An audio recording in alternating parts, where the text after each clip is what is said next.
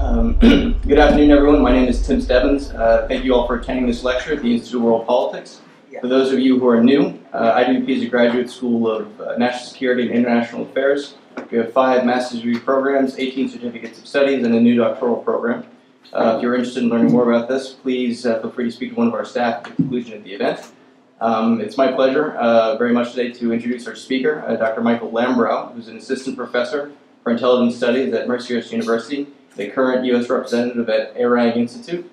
Uh, Dr. Lammbrau currently works with recently founded U.S. nonprofit organizations, uh, such as ARAG, which focuses on strengthening ties in East Asia through people-to-people -people diplomacy. His work in Korea as the Seoul bureau chief of the ARAG Institute has resulted in grabbing the attention of national Korean media, where they were, where they were the subject of two documentaries. He currently writes and appears for Korean news outlets as an expert on culture and inter-Korean relations.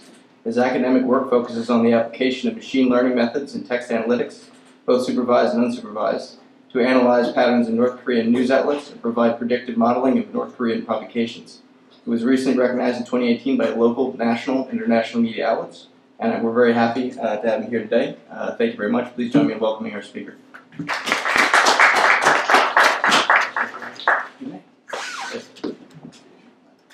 We'll work on your Arirang pronunciation. My Korean is not quite as good as yours. We'll get it there. Uh, thanks, Tim. Uh, thank you to the uh, Institute of World Politics staff for organizing and, and having me today. Uh, you know, I'm excited to be here. I'm always excited to do lectures or seminars or events, as you can see from the uh, biography. And uh, because of the recent events and ongoing events and the importance of the Korean Peninsula, uh, geopolitically, locally, uh, DC locally, you know, that uh, resonates. Um, you know, we thought it would be important to have an event, right? And so I'm going to go through a bit of my background, uh, just so you understand where I'm coming from and for all those graduates. How many graduate, we have a lot of graduate students here? Undergraduate students? I know your pain, all right? Uh, there's hope. Uh, you got to hustle. We all have to hustle. And hopefully my story will, at the beginning, will give you a little bit of inspiration on, uh, some nice places to focus your hustle, and then how I was able to sort of uh, launch a little bit uh, when I was over in Korea. So I don't have a clicker, but uh, just look towards the background. So I did graduate from Mercyhurst University 2006 with the uh, Intelligence Studies degree. Uh, I was a Korean linguist in the U.S. Army for four years. So I wasn't the best student, but a mid-level student, and I knew I had to get a security clearance, I knew how to get a language, and I didn't really have the discipline to teach myself. So I joined the military, my father's military, military family, and uh, it was just part of you know the duty of our family and everybody we knew that he had to join the military. And I joined the army as a Korean linguist, went to DLI, it was a great experience, and learning Korean did change my life, right? So it did not only expand how I thought about the world, how I thought about politics and culture, but it also gave me a new perspective, and that perspective is what I'm here to share with you today. Uh, as you saw from the title, we'll get back to the title. So I went to Korea on my GI Bill.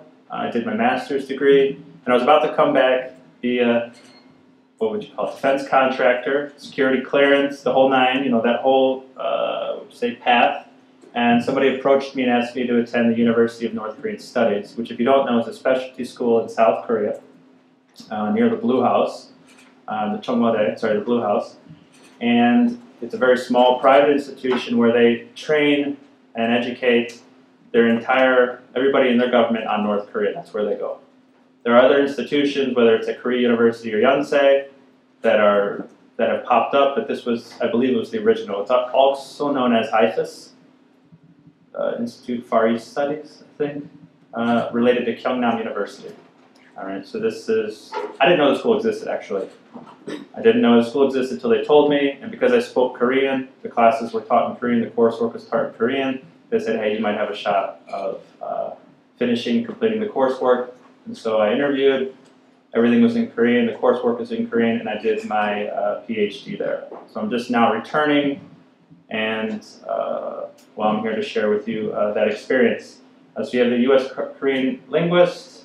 Uh, while doing the NGO work, the NGO work was also sort of an accident. I was trying to work on base. I was trying to get a job, and somebody said, why don't we start an NGO? And I thought that's a bit ambitious, but okay. And we started speaking to all our friends at the University of North Korean Studies and the folks uh, in and around Seoul community, and that's the institute we came up with. I did not come up with the name Arirang, it was suggested uh, because of its importance, uh, because of its historical importance, its cultural importance. And if you don't know, how many know the name Arirang? For those of you who don't know, it's considered the unofficial national anthem of Korea, the Korean people. Uh, it's a folk song. It's one of the oldest songs in Korean history, if not the oldest song. There's many different versions according to regions, which which part of the country you go to. Uh, so while doing the work, I worked with uh, Mulmangcho, which is a big NGO that does work for resettlement of North Korean refugees. Uh, they do everything from teaching them English to getting them education. So if you're looking for an organization to get connected with and work with, I helped Fulbright scholars, I helped Boren scholars when I was over there, because despite your Boren scholarship, you still can't speak Korean. So you need somebody like me to help you interview with the North Korean refugees. Well, some of you can speak Korean, but for the most part, American students that go over there, they want to interview, they want to work with the North Korean refugees, but uh, they have trouble with uh, the language barrier. JoongAng Ilbo uh, will be a part of the focus today. Do you guys know who JoongAng Ilbo is, the organization? Yeah, it's called uh, Chojoongdong, which is uh, Chosun Ilbo, JoongAng Ilbo, and Dong-A Ilbo. The top three uh, mainstream media outlets, you can think about them as the New York Times, the Washington Post, and LA Times. If I'm off base on that, then my Korean friends can uh, correct me later. Uh, Radio Free Asia, I think everybody knows who that is, and National Language Service Corps. If you're interested in that, you can contact them, sign up, and they also have uh, a nice network. And of course, Mercyhurst University. So I'm going to go forward. Uh, this is some of the recognition we got. I would like to point out, and I'll point out throughout the presentation, almost most of our support, if not all of our support, came from Korea, not Western uh, media outlets. Uh, it was English media outlets. It was mostly Korean outlets. Most of my support came from people who couldn't speak English, but they spoke Korean. Right? This was while I was in Korea. All right, so I hope this isn't too provocative, but here you have an overlay of. Does everybody know what this is overlaid? What's behind the, the three individuals here? Do you know what the background is? Did you say a launch? Yeah, I can't come over. I hope that's not a, looks like a missile launch. Uh, yeah, the Candlelight Revolution. Did a lot of you remember the Candlelight Revolution? How short our attention spans are. Does anybody know the Candlelight Revolution? Did anybody know what it was about? What were the reasonings behind it? Um, it was to oust um, former Yes? Um, a peaceful protest. Peaceful protest, yes. Okay. So President Park, we have President Moon now. But before we had President Park, and she was peacefully removed through demonstrations, weekly demonstrations throughout the country, I think for six months. It was from like August to February or until the election, right, which was the in the spring when President Moon was elected.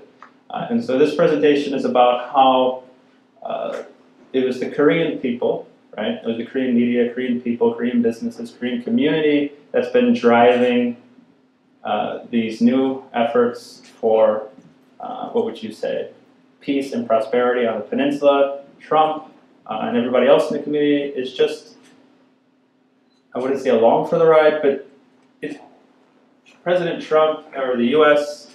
foreign policy expert community, they are sort of having to start to understand just how much of a desire and movement this is, right, for the Korean people.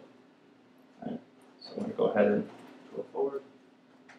All right, so here's uh, a little bit of a timeline that's probably hard to read for some of you. So I only went back to 2016, you had nuclear test, and then every, then you had sanctions started to get tighter. The closing of Kaesong factory. Everybody know what Kaesong factory was? Kaesong? No? It was a joint economic initiative between the North and the South, and a lot of folks, and rightly so, they shut down the factory, right? But what people don't think about in the U.S. is, I think it was some, there was 500 or hundreds of small businesses in South Korea were affected by this. They didn't get their money back. I know lots of them business owners. These are presidents. These aren't the Chaebols. These aren't the Samsungs. These aren't the Hyundais. These are the people right below them that have big businesses, that people's lives depend on them, and they were severely hurt by that. And the business community is struggling. Uh, we'll, we'll go through that with the next couple slides. But basically, you have a global downturn, right? Economic downturn, 2008 financial crisis, global downturn, Korea suffers, uh, looking for a way out. And then you have these, these moves to move away from economic integration with the North, and small businesses were severely affected. Uh, you have plans for announced intelligence sharing with the US and Japan. Uh, for most of you that know about the politics in East Asia, you understand why this might be a little bit controversial and used uh, to incite a lot of uh, discontent. But more importantly, you have the THAAD deployment was finalized. Now we all know what THAAD is, right? THAAD is huge as a symbolic, uh, as a symbol of the U.S. ROK alliance, in my opinion. All right. But the deployment of THAAD, this missile defense system, in reaction to North Korea's nuclear test, the Chinese have been sanctioning. In my opinion, they're, they're, you might call them hidden sanctions, but they've been punishing the South Korean businesses and government for this action.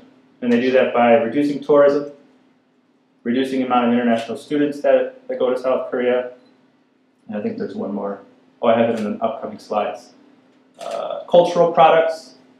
So one of the main, one of Korea's new exports is cultural products, whether it's Hallyu, uh, Korean dramas, Korean movies. Well, these are blocked. What's one big thing they sell during commercials of these dramas? Makeup, cosmetics, big business. That's blocked. All right. So there's real there's repercussions to uh, THAAD deployment, uh, shutting down of Kaesong, and this rising of tensions in Korea. Uh, I think a lot of you might know the phrase, when the whales fight, the shrimp get crushed. That's often the, the phrase that's used, the terminology is used. So they feel really stuck sometimes. All right, and then you have Trump comes along with the President Trump or President-elect Trump or President-to-be Trump, and he's talking about, well, we're going to renegotiate the FTA. We're going to uh, make it more difficult to do business. America first. And so there's a lot of worry and concern in the South Korean business community.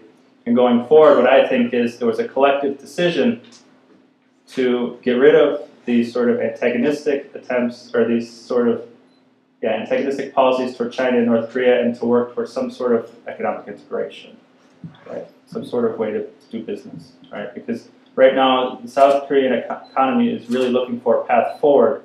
Otherwise, it's going to continue to, uh, it, will, it will stagnate. All right, so we fast forward to the October 24th. You have the JTBC broadcast. That may or may not be the exact date. I'm pretty sure it is. And this is the tablet. Now, you guys know the tablet? No? No tablet? All right, so this is the reason I believe that uh, the, the candlelight demonstrations were sparked, and I'll get into it. We have, uh, is the economy stupid? I should take the term stupid out. It's the economy, and so you have, these are recent articles, but ousting the president won't fix South Korea's economy. Uh, South Korea injects 2.7 billion to reduce jobless youth. So South Korea, like Japan, the youth aren't getting married. The youth are having big problems getting uh, what would you consider regular employment. All right. So full-time employment is very difficult to get currently. Uh, so you have stagnating global economy, national economy, economic sandwich between Japan and China, high youth unemployment, low marriage rates. And I think President Moon announced an initiative to support young couples. He just announced it, all right, to try to speak to this. He's also announcing other plans uh, of basic income, but it's to address this growing concern. Because think about it, if you're in the leadership, whether you're left or right, the growing concern is economic, the economy's bad. People are struggling. What do we have to, what are we going to do? All right? What are we going to do? And so uh, all of these youth are struggling. Uh, a lot of you know about Korea. You know that you have to take a test in high school. All right? What is, what's the importance of this test?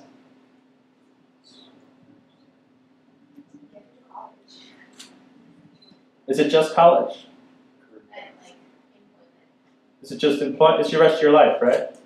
It's a decisive moment in a lot of people's lives that determines what part, what class they're going to be in almost, right? In the U.S., we don't like to think about classes because we like to think there are no classes. But in other parts of the world, uh, it's very, very hard to climb the socioeconomic ladder. And one way that there is uh, system-based merit that's introduced in South Korea is through the testing system, right? So the, The lawyers, they have to take tests, they often study for years, decades, to take these tests to pass the civil service. The high school students, the same thing. So then when you have these people studying, you can see them in the cafes, you can see them in the cram school, you can see them learning English, you can see them, uh, you know, blood, sweat, tears, all the money goes into these students to learn, to take these tests, to pass the test at a certain rate, to get into college, to get into university for a better life. And then you have the scandal. Do you guys know who Trey Sun Choi Soon-sil was? She's the tablet that was discovered. Now I know there's talk about there wasn't a tablet, there isn't a tablet, but it doesn't matter in the media. In the media, it's about perception. Uh, so on the tablet that this anchor broke, I forget his name. He's, he's quite famous in Korea right now. JTBC is uh, used to be part of JoongAng Ilbo, if not still part of JoongAng Ilbo. Uh, Choi Soon-sil's tablet, and then in there at the bottom it talks about how the, she was editing the president's speeches. All right, so this is a woman without any credentials. She didn't take any tests. She didn't pass any tests. She was just the president's lifelong friend, and she was having access to secret documents or presidential documents, and she was having say in the government. Right? So that's one reason you get this really, really, really uh, public outcry in the streets. The, the next part, does anybody know what I might point to next as one of the reasons for public outcry? It's related to Choi Soon-sil? Um, her daughter was accepted to a prestigious women's university, um, ostensibly due to. Did she even take the test? I heard rumors that she didn't even take the, she didn't pass the test at a high enough level, or she didn't even take the high school test to get into university. Not only that, she didn't even attend class. She rode her horse in Germany and got straight A's the whole time. Right, and then you think, okay, well, so this is the daughter, Chung Yoo-ra, and she was called back. She came back, and then they're both they're both in big time trouble. Uh, and this is a lot of times people in D.C., people in Washington D.C., they get this perception that oh the the candlelight movement or the mass demonstrations are anti-U.S. They're, in my opinion, they're not anti-U.S. They might be anti-corruption. They might be upset with the system uh, that President Park represents. But this, I think, this is the real reason you had such an outcry and outpouring in the streets, mostly among young people who were struggling, you know, to get a leg up, and then they turn around and they go, oh, you know, oh, it's rigged. Can't do anything. So that's uh, one reason for today's talk is to dispel the myth that some people might claim that these are anti-American protests. They're not. In my opinion, they're not. All right, so the mass peaceful demonstrations are not anti-U.S. They reflect uh, economic and political discontent, and they reflect desire for change. So the South Korean government, if you're the leader of South Korea or the leadership of South Korea, and you have this massive youth unemployment, you're looking for a way out. You can no longer make things cheaper and faster because that's what China's doing. Uh, what would you call it? Uh, high investment, high tech products Japan does, and so you're caught what's called economic sandwich, right? It's very difficult. Uh, and so the desire change, and if you talk to Korean business people, most small Korean business people would say working with North Korea on some level is our only path.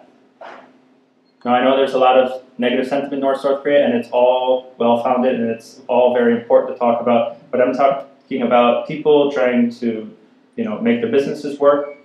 They're trying to improve their lives, and the Korean economic or the Korean business community, from what I understood when I was over there, sees North Korean uh, labor, North uh, working together with North Korea, building the infrastructure of North Korea, whether it's uh, railways or streets or roads or the electric grid or gas grids. Uh, this could be an economic stimulus for uh, the next. Well, they talk about the next hundred years, but the next, at least the next couple decades. So I actually visited these, and they were peaceful. There was no, hey, there's a, a foreigner, let's beat them up. There was none of that. It was very nice. It was more of a, a concert, rock concert type atmosphere. In fact, there were rock concerts there. They had concerts. It did get a little bit scary when, after they would do the demonstrations, which goes all the way sort of down the street in Gwanghwamun, they would walk this way. So this is the Gyeongbokgung Palace. The Blue House is back here. They would walk this way to the Supreme Court. which is actually where my university is, it's over there. Uh, they would walk this way, and one time I left, I was about here in the front, I walked that way to go home to the subway station over there, Yahoo Station. And I turned around and there were all these people walking towards me, and I, I was a little scared then. But uh, they were just walking to the Supreme Court and they just say, you know, get rid of Park, they would protest. Uh, there are what you might call leftist organizations or nationalist organizations that try to spin it as if it were anti-American, right? And they try to uh, take pictures and say this is what the movement's about, this is the reason for the movement. And there might be a small element, maybe 10 to 15 percent of paid protesters that are there, that are there to provide that spin. But the, in my opinion, the majority of the folks, the young people, the students that were there were, were just sort of, they were just upset about the uh, perceived corruption. All right, so we have the President Moon elected. We have the Pyeongchang Olympics with North Korea. Uh, we have the summit and then the second summit. Uh, all right. I do I do data analysis, uh, and in this next part, I'm going to talk about how you can use. I collected. I think this is over 40 something news outlets from around the world. Compile them into a database using the search term North Korea. So these are maybe 40 news outlets, a couple hundred thousand articles from February 1st to about June 25th, I believe. And then we analyze them for sentiment scores, which is a basic AFINN sentiment scores in RStudio. And then the visualization is done in Tableau. And you can see at the top there, there's sort of a timeline. The blue is positive, the red is negative. And then here you have your, I mean, this is just for the entire uh, time period that I grabbed. This is, you know, Pravda, Radio Free Asia, Press TV. Press TV is an Iranian uh, outlet. The Economist, Huffington Post, RT, New York Times, Fox News, The Guardian, LA Times. On average, the articles are negative. And then you can see down here, you have uh, Korea JoongAng Daily, which is JoongAng Ilbo's English version. Uh, the Diplomat, for those of you uh, graduate students, you probably know what the Diplomat is. Uh, Arirang.com, Yonhap News. Yonhap News is more of a, it's like an AP. It's more than the AP, but it's, it's Korea's fast news uh, wire service. NK News, Korea Times, Korea Herald, Boston Globe, USA Today, uh, and then some others. And so this, it goes back to the beginning when I spoke about is the Korean media outlets are overwhelmingly positive, right, in almost all of their reporting. Uh, I haven't done this yet in Korean, and I would imagine the topics would differ, but I would probably suspect that they would also be overwhelmingly positive. Now, there are a couple of reasons for this that we can go into later. Uh, some of them are structural. When there's a new president, there's often new presidents of institutions. Uh, but in my experience in Korea, the, there's unification, or at least being for the peace process, is the one political issue you can't be against. You can be against what type of unification, you can be against uh, the form, the speed, the manner in which it's done, but the dream or the belief that unification should one day happen, most people agree that it should one day happen, it's just a matter of when, how, and you know, who's in charge. All right, and so in, that case, when somebody does a peace overture, the North or the South, there sort of has to be this, at least attempt to be uh, work together. All right, even if the leadership doesn't want it, they still have to work, at least attempt to work towards it. we okay? All right. All right. So, in my opinion, that's that's a big reason why the, the news outlets are overwhelming, overwhelmingly positive in this respect, in this regard. Spilled water on everything. Uh, this is just, I'll, I'll give this to the, the staff and then they can upload it or something. But this is just another kind of data uh, representation of the sentiment score across time. And you can see reporting in the media, this is the 47 or so news outlets that I whittled it down to, was more positive for the North and South Summit than it was for the US North Korea Summit. And as you can see, it's also positive for the Olympics, it's positive for Trump agrees to meet Kim, and then you have the negative spike here when, when President Park has been sentenced to prison. I spoke about President Park up in Erie and the negative consequences of political retribution, like the vicious cycle of retribution politics, uh, but I'm not going to go, that's a different talk for a different time. So. Uh, this is topic modeling analysis. I don't think, I want to have more time for questions, so I'm just going to push through this. But topic modeling analysis basically takes a corpus, a text of data, or a text of, uh, a database of text. So if you had 100,000 news articles, you said divide up those news articles into five categories for me, sort of a clustering algorithm. And then it says, okay, these are the five different topics that we found. We found there was a big topic that talked about the Olympics, a topic that talked about summits, a topic that talked about the Iran deal, China trade, and just negative U.S. domestic politics in general. Uh, and then this is a representation of those topics over time.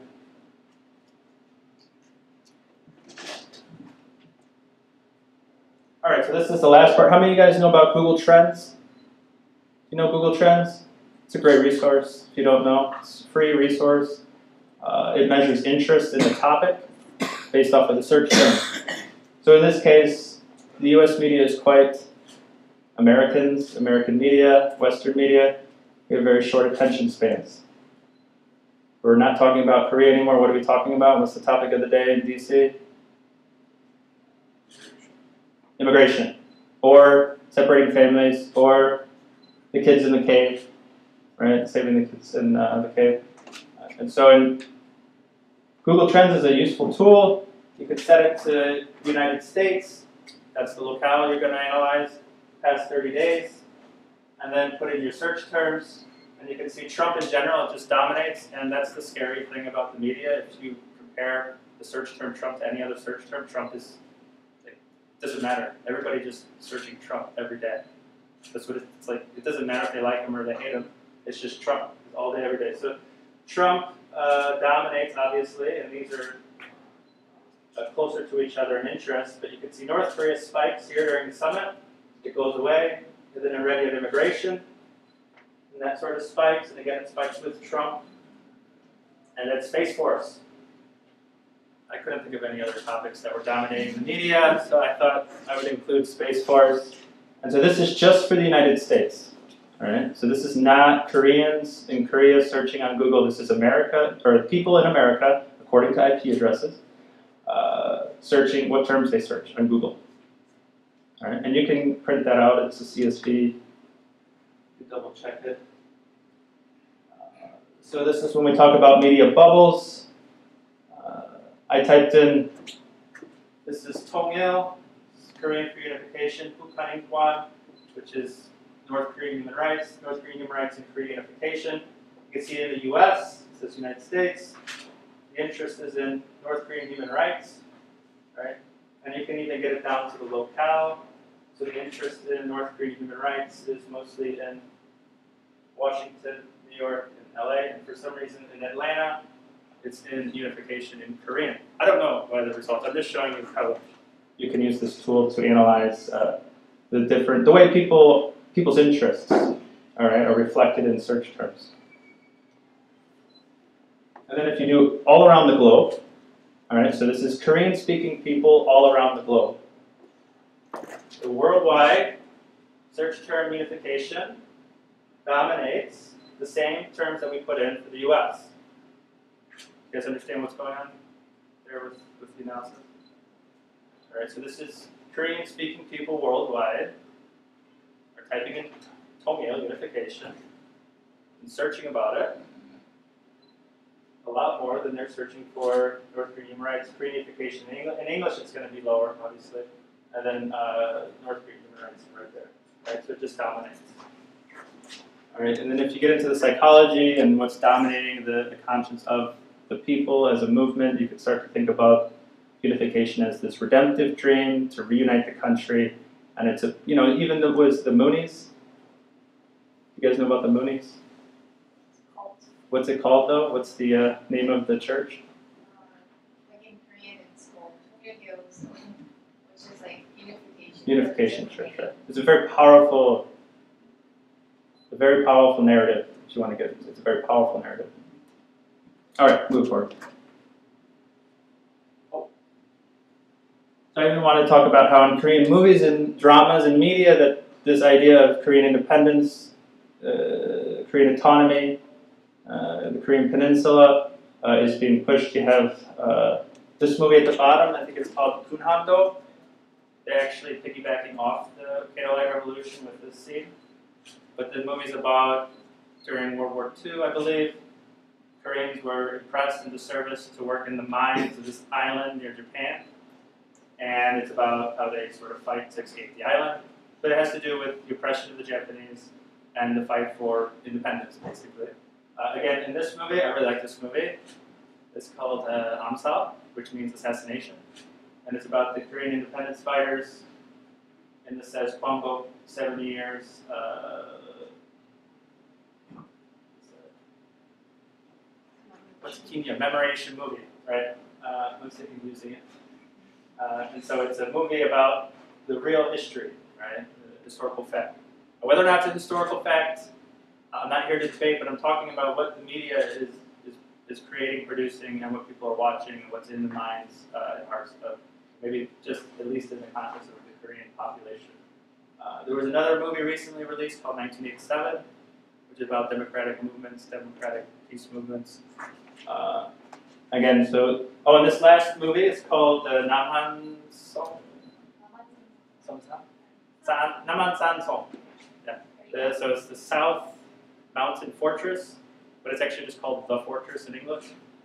And I'm trying to interpret this movie because if you don't know, uh, North Koreans watch Korean dramas on what are called notels. Uh, it's a notebook and a television put together. And this is from a pr- previous presentation I did maybe five years ago. But basically, they watch South Korean dramas and they love South Korean dramas. Do you know what type of drama they love the most? According to some of what people told me, is the historical dramas. Because they don't want all that, you know, the, uh, the Western influence. But movies like Fortress, they might watch and like. And there's a weird, there's a strange message in the movie Fortress, which has to do with South Korean king uh, has to decide if he's going to submit to the invasion of the Chinese. Uh, so he's basically going to bow down to the Chinese, or is he going to sacrifice his people, let them die? Right. So the invaders that are coming from the outside, are we going to bow down to them, or are we going to make a deal with them, or are we going to fight to the death? Is the decision the king has to make. And this just came out in January. January. It's a famous book too. I'm going to try to read the book, but fall asleep when I read Korean sometimes. It exhausts. There's another good book by Kim Jin Myung, uh, Mijung Jungjang, which is about the American Korea or America Chinese War to come. Or it doesn't say to come, but it's called America China War. And uh, he's, he's like the Tom Clancy of South Korea. He wrote a book about THAAD.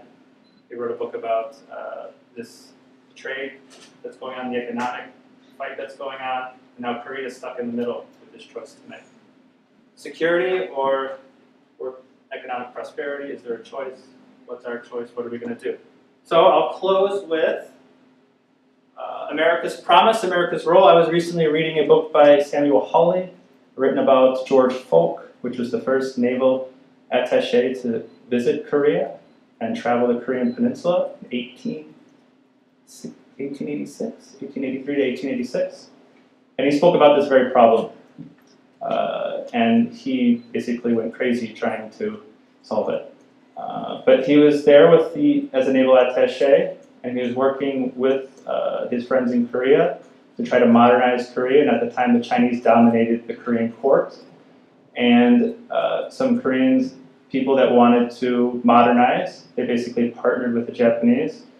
Uh, coup d'état, and uh, then you have Japanese occupation for 30 years, Korean War, uh, and then now we're at this the place we are now. So I would like to talk about how the United States, back then, we possibly looked the other way and let the Japanese occupy and let the imperialist, other imperial powers fight over Korea, and the U.S. just sort of sat by and watched, and that eventually led to the expansion of Japan and World War II.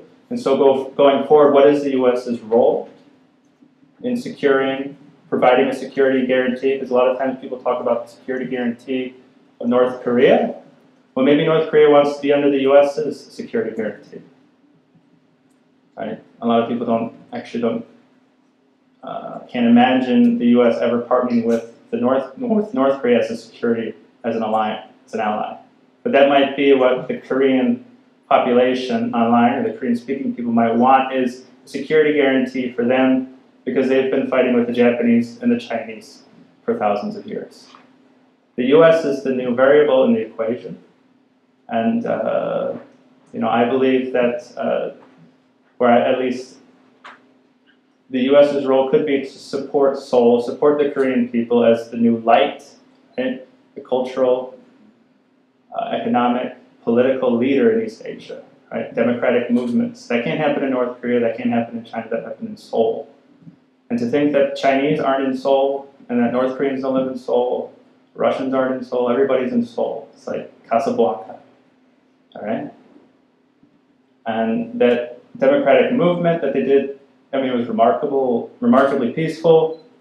It was a demonstration, and uh, now they've changed directions, and it, you know, it sends signals to everybody else around the region that uh, you know maybe peaceful democratic movements work. All right. So with that, I want to close. And any questions, uh, feel free to ask them. Thank you. Don't get me in trouble. Too much? No questions? Uh, can you touch more on um, Sino-South Korean relations following the that incident last year, and sort of how Moon is reacting? Well, how Moon reacted. Which which re- which which which incident? Uh, the one that you briefly spoke on with. Um, I'm sorry, it slipped my mind, but I just wanted to. The tablet? Yes. What's Moon doing about it? I don't think Moon cares about the tablet. I think he's happy about the tablet. Okay. Uh, Moon is Moon or the Moon administration is going after President Park and former President Park. Uh, I've done talks about that and gotten a lot of angry messages from folks in Korea about. Um, I was ash- what did say? I was ashamed. I was shameful because I said that if you if if whenever there's an election, this goes for the U.S. too. If you put your political opponents in prison, or if you put people in jail, if you take their wealth, and not just them, their family members and their family family members, and you go after three or four generations, that's a vicious cycle that never ends. Because they're only going to do it to you when you get out of power, and you're not going to be in power forever. So when people look at Xi Jinping and go, oh, why didn't he stay in power? Why didn't he give up power? Because if he gives up power, he's done. He can't give up power. And so, for political stability in any country, you need peaceful transitions of power. And I, I think I spoke about the need for forgiveness.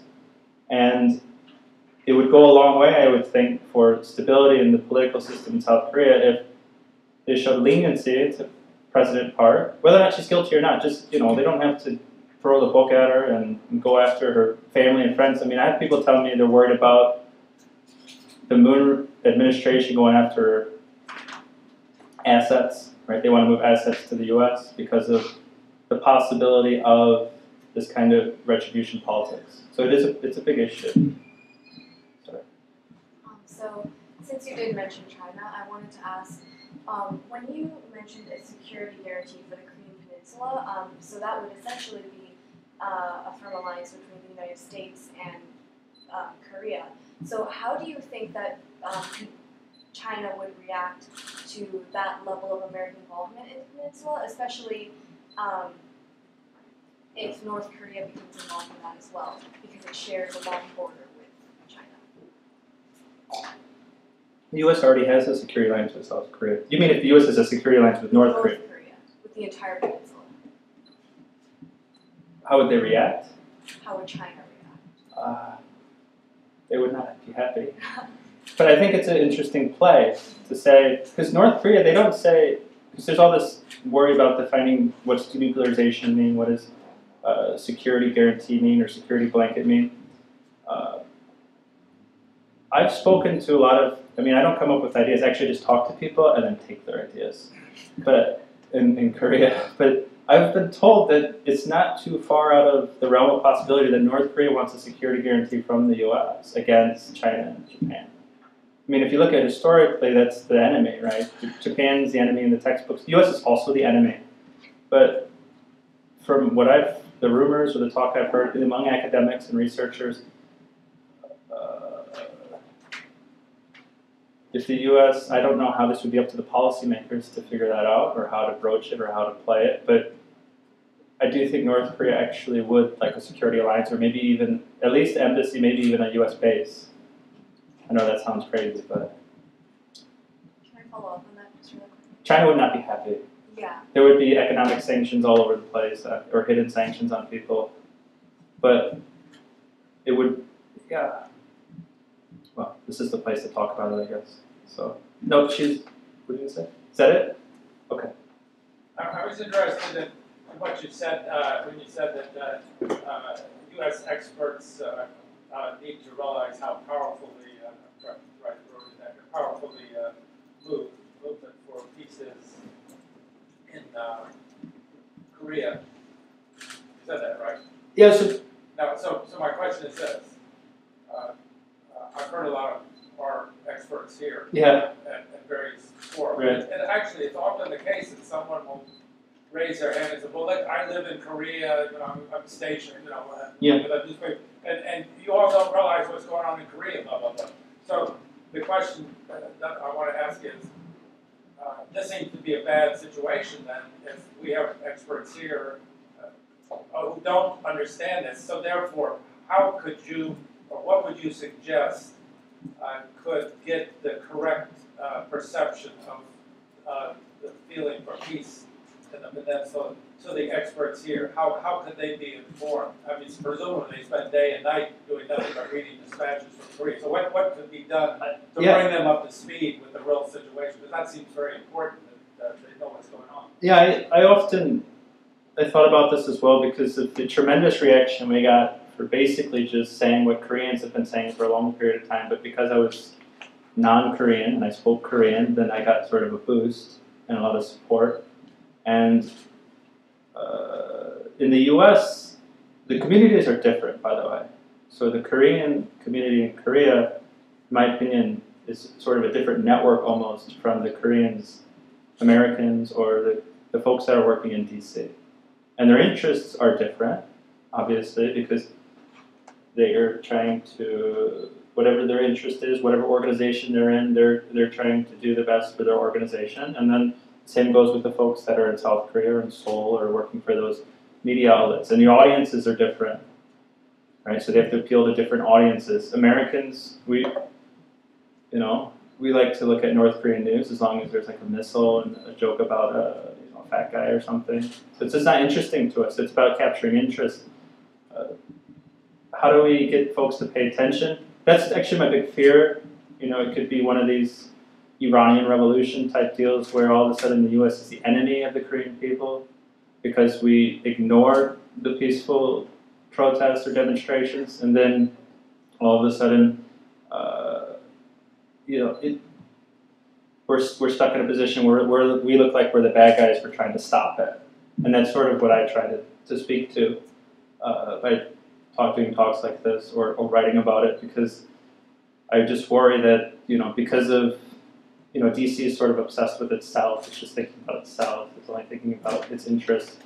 Uh, and even in the contracting world or the Defense Department or the, you know, it's just, I was talking to somebody about they were trying to get a job working for a contractor or whatever, and they were trying to get a position about Korea, and it was that they wanted a PhD with uh, expertise in Korea, spoke Korean, or that was preferred. And what they found out was they didn't get the position because they didn't have a security clearance, and they gave the position that was supposed to help USFK on strategic communications to a Malaysian expert who spoke Malaysian or it Malay? I'm not sure. And the individual had a PhD, and the individual was hired because they were an Asian expert. Right, so Asia is just clumped into one thing for the defense community or the contracting community. So there's a real there is a real disconnect. I don't know how to resolve. I mean, it's one you know. I think doing more talks, uh, but it's really difficult because the the information you consume is in English, and like I tell the students at Mercyhurst, when you read English news, that's for you. Right? If you bring up Juma in English and in Korean, the articles that are published in English and the articles that are published in Korean are completely different. It's not like they publish in Korean and then they translate it. They don't. It's completely different because they know that the audience is interested in different narratives. Uh, so that's why I try to make it uh, tied in with America's promise. You know, the whole self-determination. We're supposed to support nations that want to be independent. That was the big.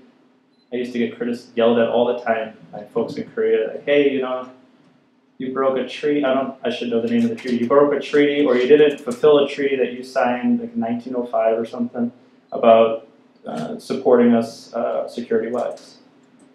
So issues like this don't go away. But yeah, the, the idea would be to tie it into America's independence movement, right? As you know, Fourth of July, independent liberty, uh, and then to connect with the Korean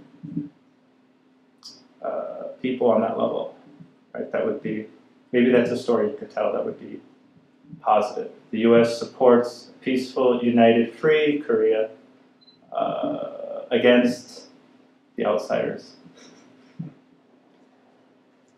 You mentioned youth unemployment being a major problem in South Korea. You also mentioned that business leaders are optimistic about unification because of the economic opportunities it could. Is that a is that a sentiment that's also shared by the youth? Because there would be concerns around absorbing such a huge workforce into South economy. Um, so it's not just, I mean, President Park in her Dresden speech said Tongil Daebak. Tongil, unification is pot, jackpot, or Daebak doesn't mean jackpot, it means just awesome or something, right? Uh, but everybody says it, and everybody talks about how great it would be. Uh, but yeah, there are serious concerns similar to the, when West and East Germany uh, unified, and then the West had to, what would you say, absorb the East and all of the stagnation that involved after that. And the, the gap between the North and the South is so large that the experts, the economic experts say that you would need foreign investment uh, to support such a move. Uh, and I think, well, I don't want to talk about that, but yeah, that, that was what you'd have to have a joint, you know, sort of kachigapshida, let's go together attitude and bring in all the interest groups to the table and then figure it out. But yeah, that would be that would be more difficult, easier said than done when it comes to that. Do the South Korean youth want unification? Uh, there are surveys that people do, and there's all sorts of, uh, you know, Asan Institute, well-known institute, does surveys of this type, and they report that the youth is not interested in unification like the older generation. And you ask the youth, you say, okay, you don't want unification, right? They say yes. Is it okay if China absorbs North Korea? And you get like a hell, hell no, you know, that's not allowed. So there's still the attitude of independence, right, of autonomy from the China and from China and Japan. That's still there. Uh, you can do economic integration in slow steps, and that's actually what any of the economists will tell you. It has to be slow integration. They have the DMZ, which is a they've proposed peace parks. One of the initiatives is a general friend I know, a South Korean general friend. They run an organization that would remove landmines. So these are joint projects to remove landmines from the DMZ, or to re because North Korea has a, a huge problem with deforestation. So these would be joint projects to plant trees. All right, so these would be big sort of government, big government projects. Uh, you know, a lot of times I think leadership or the government or business, what you need is a goal. And sometimes you need big goals and big projects. Uh, you know, there's a lot to be done. So, sorry. Um, so you said North Korea, uh, I guess from North Korean perspective, you said they want security. But for the US, um, the US foreign policy goal in the region of Northeast Asia is denuclearization of North Korea, not the Korean Peninsula. Because, you know, there's a difference.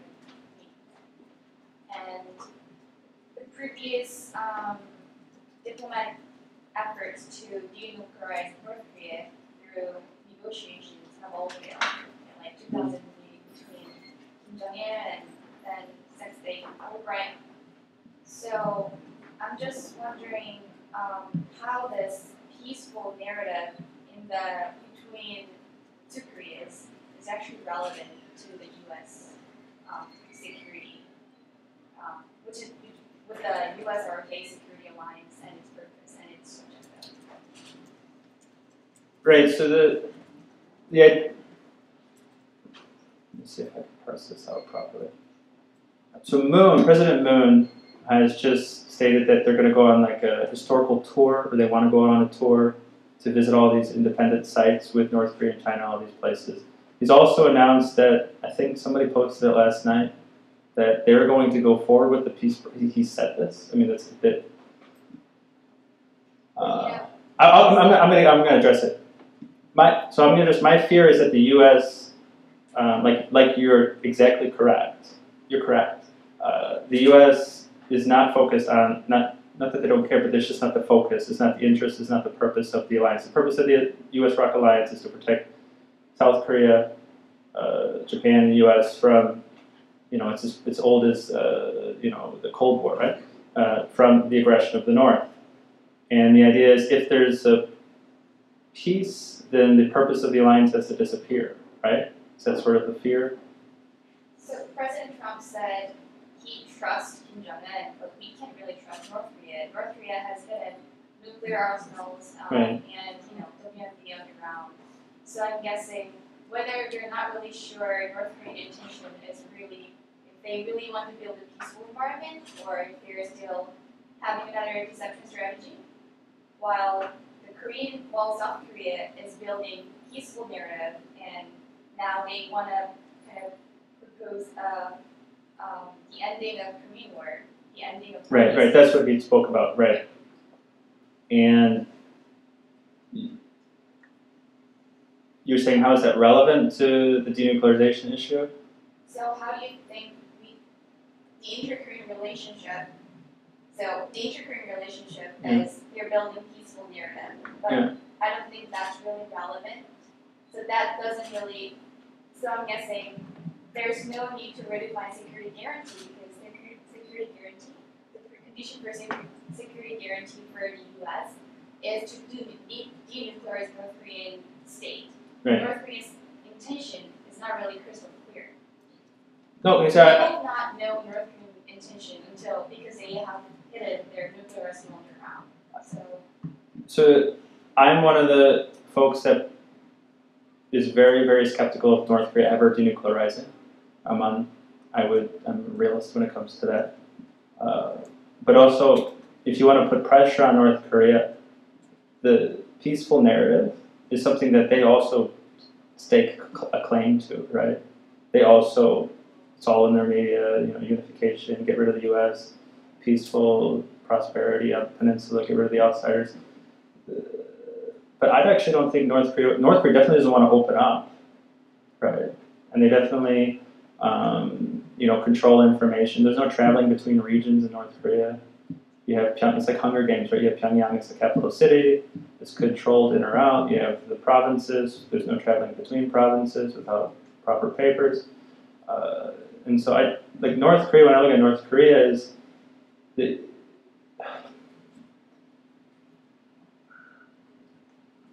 President Moon's initiatives, right, for peace. North Korea is not going to turn those down. What the game is is North Korea is going to try to what they're doing, what they did to Pompeo recently, right? So the game is this, in my opinion. The game is we're going to embark upon these peaceful negotiations, and we're going to have these summits, and whoever flinches first is going to be blamed for the breakdown of the talks. And when the U.S. goes in and Pompeo gets snubbed, or they drive him around all day in a bus, all they want Pompeo to do is explode on television and yell, and then they go, "Look, angry Americans, you know, peace talks over." And they probably didn't want them to begin with. Because think about it this way: if you have like two entities, and you're going to work together, and the eventual goal is to join, then you no longer get your fiefdom. People like their fiefdoms, right? People like to be king and queen. They don't want to be second king and second queen, or shared king, shared queen. Uh, yeah, I'm, I'm really worried about uh, anything embarrassing this administration prior to the uh, upcoming elections. Right, so that would be a concern. Didn't did I answer it? No, I didn't answer it. I just see it differently, I think. The, the denuclearization issue is the focus of DC. It's the focus of the UN Security Council. It's the focus of the really, really high policy folks. All right?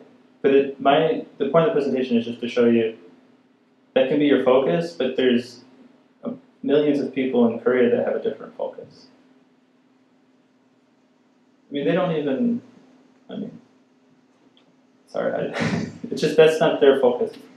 Uh, can you speak a little bit about um, sort of Chinese South Korean relations, especially with South Korea's um, security guarantee with the U.S.? South Korea China relations? Yes. Are they getting better or worse? Uh, just what they look like right now. Well, they have shared culture, shared history. Not the same culture, not the same history, but they have a. Uh, I would say that possibly, you know, whether it's diet or culturally or how things, you know, whether it's hierarchy, the way you view the world, uh, Americans are radically different. Like we're crazy individualists. That's the one thing I learned when I went over there was how individual American culture is. Right? Like it's we're actually on the when if Korea is a pretty strong collective society, and I really like that about Korea, and I really like collectivism. Most aspects of it can be tyrannical. The, the we've gone a little bit too far out on the individual spectrum, in my opinion, and it's causing problems right now. Uh, so they have more in common with the Chinese. The issue is, and I heard, I heard students asking the same question to a Korean professor. They had the same debate. You know, should we dump the U.S. and go with China? China's the future. China has the money. And the professor laughed. He was a professor at Korea University when I was there, and he laughed and he said, "Well, you know, do you think China's going to be?" China actually has a very, very bad reputation with a lot of Korean folks, people. I think one of the, the slurs, I still don't understand the slur, it's called Chongnara. Is that a term? Am I getting that right? Chongnara? That's like thousand years ago. Huh? I would say not Chinese, but It means the dynasty? Yeah. Yeah, so there's this idea of China being sort of a brute. Uh, and that, of course, we know Japan was a brute when they had it, their turn to um, work with South Korea, I guess. And so the, the, the professor laughed and just said, you know, the U.S. is probably the best bet you have with being as mo- autonomous, independent, and uh, being as Korean as possible. Because the Japanese, you know, they they had to cut off the top knot. They had to speak Japanese. They had to get rid of the culture. And anyway, so economically though, there's a big drive to work with China because it's about money. So the other side is we like security, but we also like to make money. Tourism, soft power, uh, Korean wave goods is all based off of exchanges, whether it's students or tourism or television shows. And if China cuts that off, it really hurts those people's businesses that are based off of tourism or based off of international students, which is the Korean academic community. Uh, and so there's a there's just a constant, you know, the, the when the whales fight, the shrimp get crushed, kind of. It's tough. Um, yeah, I think with Moon, Moon's, Moon's trying his best to balance everything. Uh, yeah, I, I, don't, I think it's really, it's really, really tough position to be in. But Koreans really good at it, in my opinion. Any other questions? Is that it? All right, thank you. Uh,